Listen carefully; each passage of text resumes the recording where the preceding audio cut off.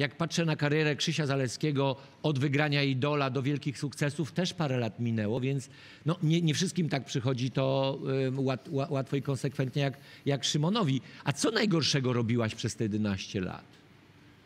Takiego już naprawdę najdalej od muzyki. Wysyłałam faksy przez cały dzień. Faksy? Ciekaw jestem, wiesz co to jest faks? No właśnie miałem pytać. Już ci tłumaczę. To jest taki duży SMS, Aha, dobra, który dobra, wkładasz już do maszynki Już wiem, już wiem. i druga strona tak wyciąga papier, no. Ty wysyłaś faksy. Całe 8 godzin, no. 8 godzin wysłania faksów. Cały czas. Rewelacyjna robota. Na No. takich małych karteczkach w biurze pisałam piosenki. Jak pani wychodziła z pokoju, z którą Okej, siedziałam. okej.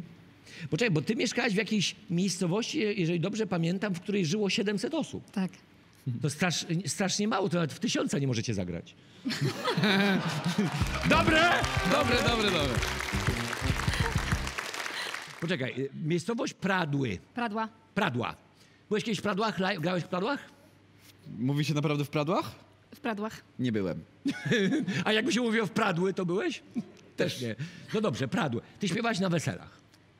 Też. Daria Zawiałow też śpiewała na weselach. No i mówiła, że jak śpiewa Fugees, to musiała niestety się ewakuować szybko z wesela. A, a, a- a ty nie bałaś się o życie, śpiewając na weselach?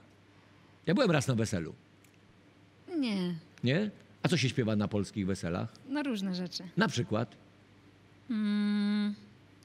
No właśnie... Nie mogę sobie przypomnieć, bo jestem zestresowana. No, bo, nie, nie, ale to, że jesteś, jesteś u starszego kolegi, który jak pamiętasz od 11 lat ci jest ci życzliwy. Dzisiaj cię zaprosiłem dlatego, że po pierwsze twoja płyta odniosła sukces, po drugie nowy mini-album, e, wysłuchałem go i nie, nie musiałem już nawet się z Józkiem i z Bilianą, z twoimi e, przyjaciółmi ko, ko, konsultować, bo ja słyszę i czuję, że twoje nazwisko zaczyna znaczyć.